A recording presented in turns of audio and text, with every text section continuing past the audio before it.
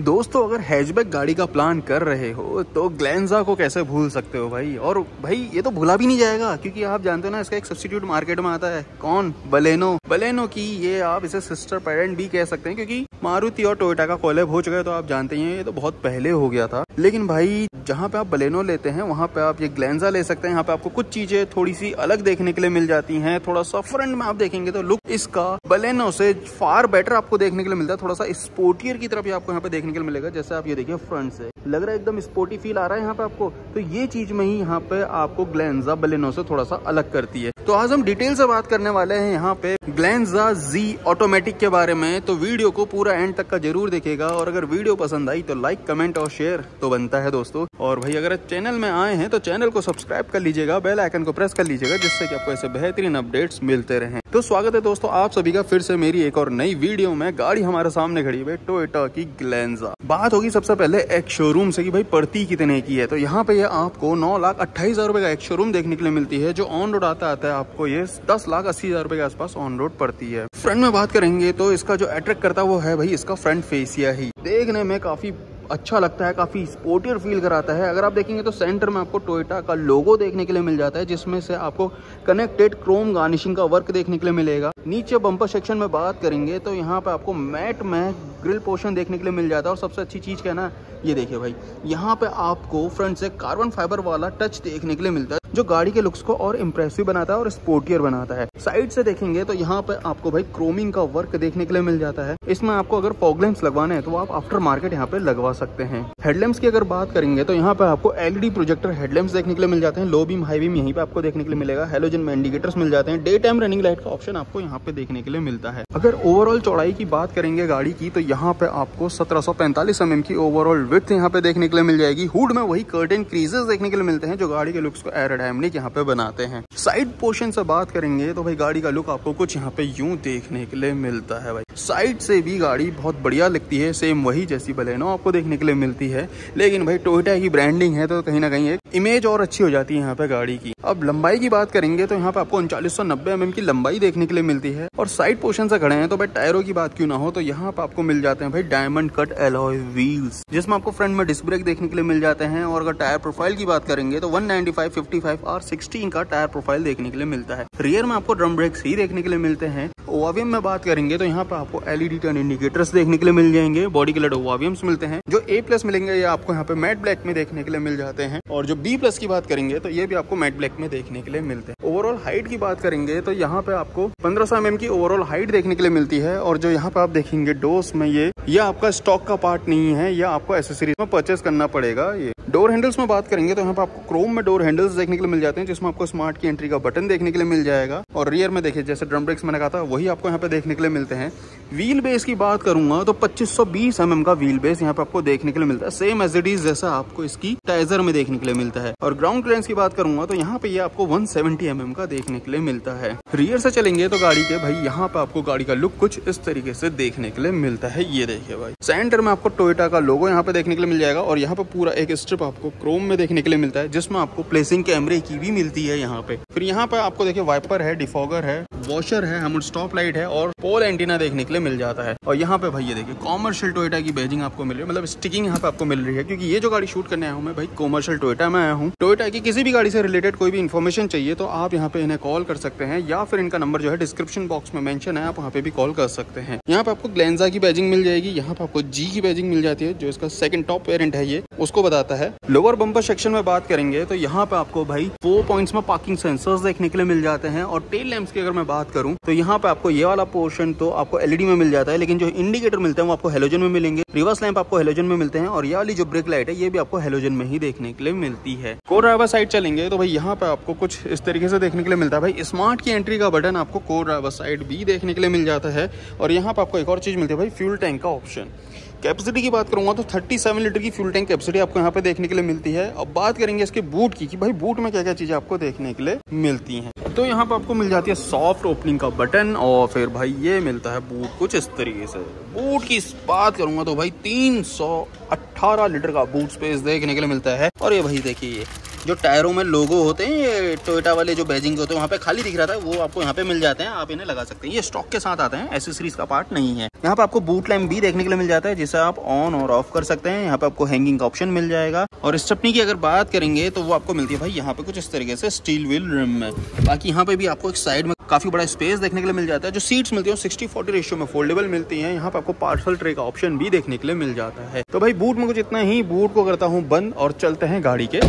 अंदर। अंदर चलते हैं तो भाई सबसे पहले हम खोलेंगे इसका डोर और भाई ये देखिए, इसके डोर पैनल में यहाँ पर आपको डुअल टोन तो मिलता है, लेकिन इसका सबसे अच्छी खास बात क्या है ना थोड़ा सा बलेनो सा हट के देखने को मिलेगा। ये देखिए इंटीरियर भाई बीज और ब्लैक का कॉम्बिनेशन जो होता है ना, वो गाड़ी के इंटीरियर को और खिलखिला देता है और थोड़ा सा रिची रिची टोन देता है। बलेनो में अगर आप देखेंगे तो आपको ब्लू टोन मिलता है तो थोड़ा सा डलनेस हो जाती है, थोड़ा सा डार्कनेस हो जाती है, जिस वजह से स्पेस थोड़ा सा कम जैसा लगने लगता है, थोड़ा सा बुझा बुझा जैसा देखने। यहाँ पे काफ़ी खिला खिला देखने के लिए मिल रहा है। डोर में वापस लौट के आते हैं तो भाई, यहाँ पे आपको देखिए सॉफ्ट टच मिल जाएगा लेदर राइट में जिसमें आपको स्टिचिंग भी मिलती है। ये वाला पैटर्न आपको पूरा ग्लॉसी ब्लैक में मिलता है। चार के चार पावर विंडो का स्विच है। ड्राइवर साइड वाला ऑटो में मिलेगा। सेंटर लॉकिंग का बटन है। वो भी इलेक्ट्रिकली फोल्डेबल और एडजस्ट एडजस्टेबल दोनों ऑप्शन है। डोर हैंडल क्रोमिंग में है। Bottle holder space map pocket और यहाँ पे आपको स्पीकर की प्लेसिंग यहाँ पे आपको ट्विटर्स की प्लेसिंग गाड़ी में टोटल आपको मिलते हैं सिक्स स्पीकर फोर स्पीकर हैं टू ट्विटर्स आपको देखने के लिए मिल जाएँगे। फिर यहाँ पे बात करते हैं तो भाई आपको इसमें मिलते हैं सिक्स एयर बैग यानी सेकंड टॉप एयर में तो आपको यहाँ पे सिक्स एयर बैग देखने के लिए मिल जाते हैं। फैब्रिक में सीट्स मिलती है, कुशनिंग ठीक ठाक अच्छी खासी मिलती है। सीट को हाइट एडजस्ट करने के लिए ऑप्शन मिल जाएगा और यहाँ पे चेकआउट करेंगे तो भाई फुल टैंक का लिड का ऑप्शन मिल जाता है और यहाँ पे आपको गाड़ी का हुड ओपन करने के लिए ऑप्शन मिल जाता है। यहाँ पे आपको एक पॉकेट मिल जाती है जिसमें आप अपना टोल कॉइन वगैरह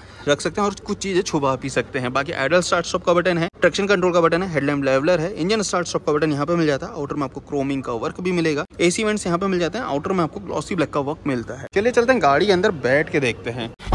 अंदर बैठते हैं तो भाई यहाँ पे आपको देखिए डेड पैडल भी देखने के लिए मिल जा रहा है ए बी ही इसमें मिलेगा सी आएगा, नहीं, क्योंकि भाई ऑटोमेटिक गाड़ी यहाँ पे आपको देखने के लिए मिलती है। फिर अगर देखिए भाई इंटीरियर लग रहा है ना थोड़ा सा प्रीमियमनेस फील हो रहा है ना, क्योंकि भाई रिची रिच फील इसलिए आता है क्योंकि यहाँ पे आपको बीज और ब्लैक का कॉम्बिनेशन देखने के लिए मिलता है। ये वाला पैटर्न पूरा ग्लॉसी ब्लैक में मिल जाएगा, ऊपर आपको रफ ब्लैक देखने के लिए मिलता है। म्यूज़िक सिस्टम भाई याली एरिया देखेंगे तो सेवन इंच का इन्फोटेनमेंट सिस्टम मिलता है भाई, ये थोड़ा सा बड़ा देना चाहिए था। लेकिन Android Auto Apple car play आपको मिल जाएगा, यहाँ पे आपको एसी वेंट्स मिल जाते हैं सेंटर में हेजेट का बटन है। नीचे आपको ऑटो क्लाइमेटिक कंट्रोल एसी मिल जाता है, जो आपको बेस टू टॉप सेम देखने के लिए मिलता है। मतलब ऑटो तो नहीं मिलेगा, लेकिन जो कंट्रोल यूनिट होगी वो आपको सेम एज इट इज़ ऐसी ही देखने के लिए मिलती है। यहाँ पे आपको ट्वेल्व वोल्ट का अडाप्टर सॉकेट मिल जाता है और यहाँ पे आपको टाइप ए का पोर्ट देखने के लिए मिल जाता है। यहाँ पे आपको एक प्लेस मिल जाएगा जिसमें आप फ़ोन वगैरह कैरी कर सकते हैं। यहाँ पे आपको टुको फोल्डर का ऑप्शन है। साइड से देखेंगे तो ग्लॉसी ब्लैक का पैटर्न मिलेगा।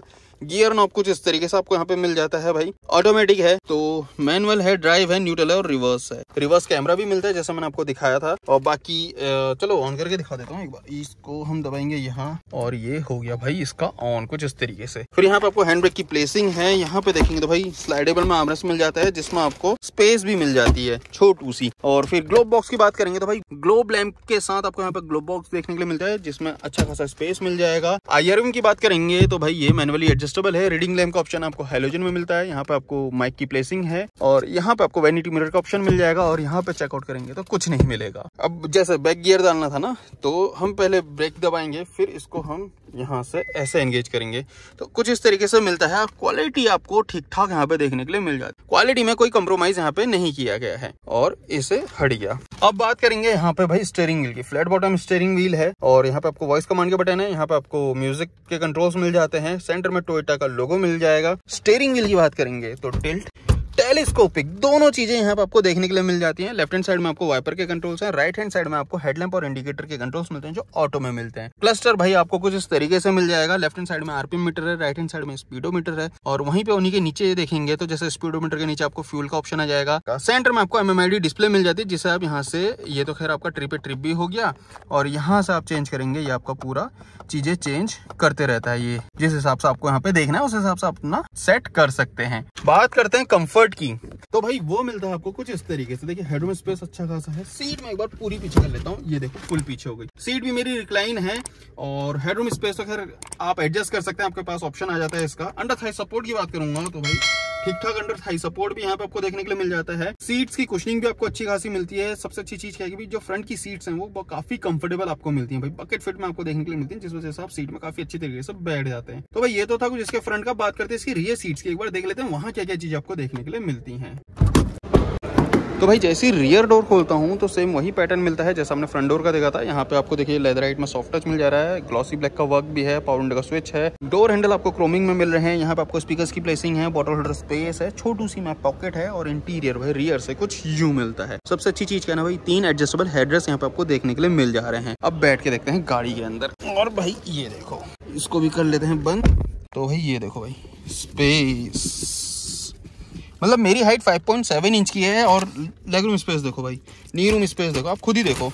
बाकी यहाँ पे आपको मैगजीन पॉकेट नहीं मिलती है। ओ सेकंड टॉप में भी नहीं मिलती। लेकिन को ड्राइवर सीट के पीछे आपको मैगजीन पॉकेट ज़रूर मिल जाती है। यहाँ पे आपको रियर एसी वेंट मिल जाएगा। टाइप सी के दो पोर्ट्स यहाँ पे आपको देखने के लिए मिल जाते हैं। नीचे आपको फ़ोन रखने के लिए प्लेस भी मिल जाएगा। फ़ोन तो खैर क्या ही रखेंगे छोटी मोटी चीज़ कुछ रख सकते हैं। यहाँ पे आपको ग्रैबिंग हैंडल मिल जाता है। यहाँ पे भी ग्रैबिंग हैंडल मिलेगा, जिसमें आपको कोट हैंकर भी मिलता है। और यहाँ पे आपको रीडिंग लैम्प का ऑप्शन मिल जाता है हेलोजन में। कंफर्ट की बात करेंगे तो वो मिलता है आपको भाई कुछ इस तरीके से। ये देखो हेडरूम स्पेस रिक्लाइनिंग एंगल ठीक ठाक यहाँ पे आपको देखने के लिए मिल जाएगा। ये चीज़ अच्छी है कि भाई आपको हेडरूम स्पेस अच्छा खासा मिल जा रहा है। और अंडर थाई सपोर्ट की बात करूँगा तो आपको मिलता भाई कुछ इस तरीके से। मतलब पीछे भी बैठने में कोई दिक्कत नहीं है स्पेस अच्छा खासा मिल जा रहा है कैबिन स्पेस काफ़ी अच्छा खासा है ओवरऑल गाड़ी के अंदर। तो भाई ये तो था कुछ इसका रियर का बात करते हैं, इसकी इंजन वे देख लेते हैं इंजन में क्या क्या चीज़ें आपको देखने के लिए मिलती है। थोड़ा सा हैवीनेस फील तो हो रहा है भाई यहाँ पे। तो भाई यह है कुछ इसका इंजन कंपार्टमेंट अगर इंजन की बात करूँगा तो यहाँ पे आपको मिल जाता है भाई 1200 सीसी का फोर सिलेंडर वीवीटी इंजन देखने के लिए मिलता है, जिसकी पावर आपको 89 बीएचपी की देखने के लिए मिलेगी। टॉर्क आपको 113 न्यूटन का देखने के लिए मिलता है। और अगर बात करेंगे भाई यहाँ पे माइलेज की तो तेईस के का माइलेज कंपनी कहती है, जिसे आप एक्सटेंड भी कर सकते हैं। मतलब करेंगे तभी जब आपकी ड्राइविंग कंडीशन थोड़ी सी अच्छी रहेगी और सोफिस्टिकेटेड रहेगी। और अगर ब्रेकिंग्स में बात करेंगे तो एबीएस ईबीडी ब्रेक ऐसी जैसे फीचर्स सही हैं ट्रैक्शन में traction control hill hold control ESP जैसे फीचर्स भी देखने के लिए मिल जाते हैं। नीचे से अगर आप देखेंगे तो इंजन कवर्ड मिलता है, पीछे से इंसुलेशन का वर्क मिलेगा हुड में भी इंसुलेशन का वर्क आपको यहाँ पे देखने के लिए मिल जाता है। और अगर बात करेंगे वारंटी की तो भाई तीन साल, एक लाख किलोमीटर की वारंटी यहाँ पे आपको देखने के लिए मिलती है, जिसे आप एक्सटेंड भी करा सकते हैं। तो भाई ये तो था कुछ इसका इंजन अप कर लेते हैं फाइनल वॉक अराउंड तो दोस्तों, हमने बात करी यहाँ पे इस टोयोटा ग्लेंजा गाड़ी के बारे में, जो हमारे सामने खड़ा है। भाई सेकंड टॉप मॉडल हमारे सामने इस गाड़ी का खड़ा है। जो वेरिएंट बात करी, भाई, ये ऑटोमेटिक वेरिएंट है, जो आपको इसके सेकंड बेस से देखने के लिए मिल जाता है। सेकंड बेस से टॉप तक का ये आपको देखने के लिए मिल जाता है। जो वेरियंट हमारे सामने खड़ा सेकंड टॉप वेरियंट खड़ा है। प्राइस वैल्यू हमने जान ली, एक शोरूम वैल्यू हमने जान ली की भाई कितने की आपको मिल जा रही है। अगर मेरी इस वीडियो से आपको थोड़ी सी भी हेल्प हुई हो तो वीडियो को लाइक कमेंट और शेयर ज़रूर कीजिएगा। और हाँ भाई, जो लोग मेरे न्यू व्यूवर्स हो जाके चैनल को सब्सक्राइब कर लेना बेल आइकन को प्रेस कर लेना जिससे कि आपको ऐसे बेहतरीन अपडेट्स मिलते रहे। तो चलिए चलते हैं दोस्तों, फिर मिलते हैं आपसे कोई नई वीडियो में, तब तक के लिए जय हिंद।